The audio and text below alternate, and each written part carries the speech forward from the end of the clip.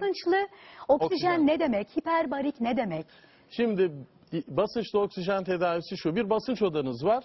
Bu böyle bir kazan gibi bir şey. Belki veterinerden Göreceğiz biraz sonra. göreceğiz. Ee, Bunun için hastalar giriyorlar.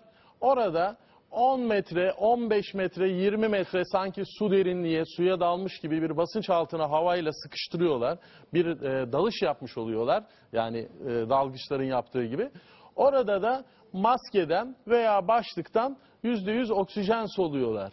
Yani tedavi için demek ki bir basınç odanız olması lazım. Hastaların buraya girmesi lazım basınca ve orada yüzde yüz oksijen belli bir süre boyunca tabii bir protokolü var. Ee, her hastalığa aynı e, derinlik, aynı e, süre değil. Orada bir oksijen solumaları lazım. Bunun adı Hiperbarik. hiperbarik oksijen basınçlı tedavisi. oksijen Peki tedavisi. Evet, neden doğru. oksijen, neden basınç? Yani oksijen ne yapıyor, basınç ne yapıyor? Şimdi e, vücudumuzda eğer oksijene ihtiyacın artmış olduğu hastalıklar varsa normal sağlıklı insanları böyle bir basınç odasının içine sokup oksijen solutmuyoruz tabii. Buna bir faydası yok. Bir şey soracağım hemen burada. Çünkü Japonya'da özellikle hep duyuyoruz ya e, oksijen barları var. Mesela gidiyorlar e, gün içinde iş adamları hemen gidip orada bir maske takıyorlar. 15-20 dakika oksijen soluyorlar ve çıkıyorlar. Bunun bir faydası Yok. var mı?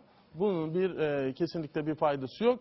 Bize de şu anda böyle bir fazladan bir oksijenin de ihtiyacımız yok. Öyle bir e, şeyimiz de yok. Yani böyle bir tedavi biçimi de olamaz. Hepimiz zaten şu anda şu ortamdaki oksijenden yeterince istifade ediyoruz ve bunun altında da yaşıyoruz. Fazla oksijenin faydası olmaz. Aksine zararı dahi olabilir.